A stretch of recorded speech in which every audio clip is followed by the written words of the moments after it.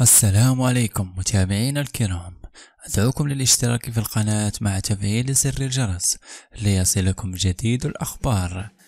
الآن مع أبرز العناوين. رونار يهمش نجم المنتخب المغربي الجامعة الملكية المغربية لكرة القدم. هذا موعد ومكان المباراة. خطف اللاعب المغربي نبيل الزهر الأضواء خلال منافسات الجولة الثانية من الدوري الإسباني حينما قاد فريقه إلى تحقيق التعادل في مباراته أمام ريال سوسيدار متصدر الليغا مؤقتا.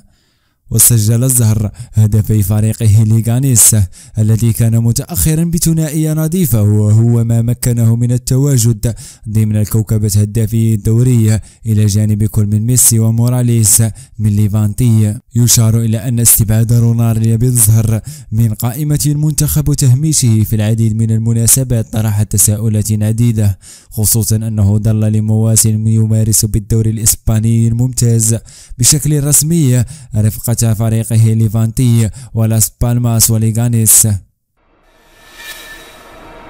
أكدت الجامعة الملكية المغربية لكرة القدم عشية الجمعة اختيار ملعب محمد الخامس بالدار البيضاء مسرحا للقاء الذي سيجمع أسود بالمنتخب المالاوي برسم الجولة الثانية من تصفية المؤهلة لكأس الأمم الإفريقية الكان 2019 وقررت الجامعة الكرة برمجة اللقاء يوم التاسع من شتنبر المقبل انطلاقا من الساعة التاسعة مساء في أول ظهور للمجموعة بعد النسخة الواحد وعشرون لنهائية كأس العالم روسيا 2018 ومن المرتقب أن يكشف هيرفي رونار مدرب الأسود عن قائمتها النهائية لمباراة مالاوي نهاية شهر أغسطس الجاري حيث من المرتقب تسجيل مجموعة من التغييرات بالترسال الأساسية للمنتخب الوطني باستدعاء لاعبين شبان.